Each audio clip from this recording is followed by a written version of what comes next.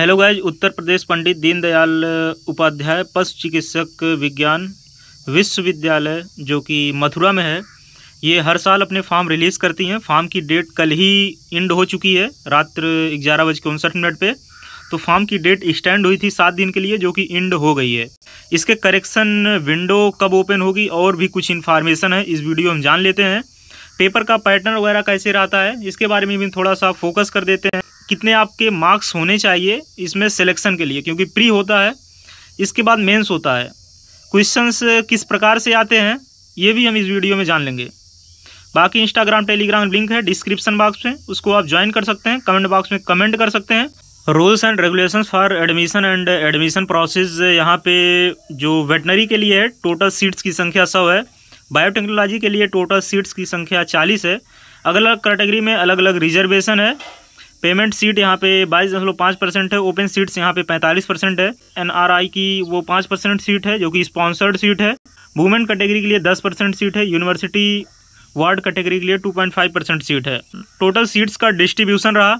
अगर आपके जो है प्री एग्ज़ाम तो पच्चीस को है, आपको ही पता होगा प्री एग्ज़ाम जो है पच्चीस तारीख को है।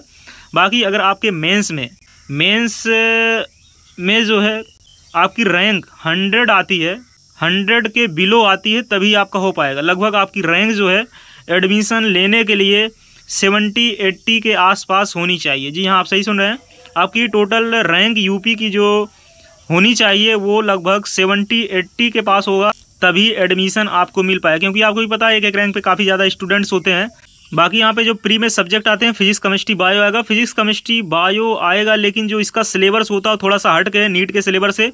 यहाँ पे क्वेश्चंस थोड़ा आउट रेंज आप में भी पूछे जाते हैं। मतलब बायो में थोड़ा सा बाहर का पूछा जाता है, लेकिन अगर आप ठीक से पढ़े हुए हैं तो कोई दिक्कत नहीं लेकिन फिजिक्स केमिस्ट्री में थोड़ा सा आपको ध्यान रखने पड़ेगा, थोड़ा सा थ्योरी बेस भी यहाँ पे पूछता है। न्यूमेरिकल्स उतने ज़्यादा नहीं पूछते हैं, हालाँकि नीट में भी अब तो न्यूमेरिकल्स उतने ज़्यादा नहीं पूछते हैं। लेकिन जो है, यहाँ पर थोड़ा सा फिजिक्स केमिस्ट्री थोड़ा सा हट के होती है। बायो थोड़ा सा रमेश गुप्ता एम पी कौशिक, ये यूपी बोर्ड में पहले चलता था, थोड़ा उस लैंग्वेज में भी पूछता है। हम ये डाटा दो हज़ार उन्नीस का बता रहे हैं, हालाँकि अभी जिस स्टूडेंट से बात हुई, वहाँ पर वो वेटनरी कर रहे हैं। दो हज़ार उनका बीस बैच है तो वो बता रहे हैं कि लगभग इतना जो है जाता है, इतना कट ऑफ़ जाता है। अगर आपका सेवेंटी एट्टी अगर रहता है टोटल रैंक यूपी का। बाकी और वेटनरी के लिए आप जो है नीट के थ्रू भी जा सकते हैं यूपी कैटेट है, इसके भी थ्रू आप जा सकते हैं। हालाँकि यूपी कैटेट का तो फॉर्म इंडी हो गया है। और ये तीन फॉर्म है, जिसके थ्रू आप जो है वेटनरी कोर्स कर सकते हैं यूपी में। यहाँ पे जो रिजर्वेशन पॉलिसी अप्लाई हो रही है ओबीसी के लिए सत्ताईस परसेंट जनरल के लिए पचास परसेंट और ईडब्ल्यूएस के लिए दस परसेंट सीट रिज़र्व है।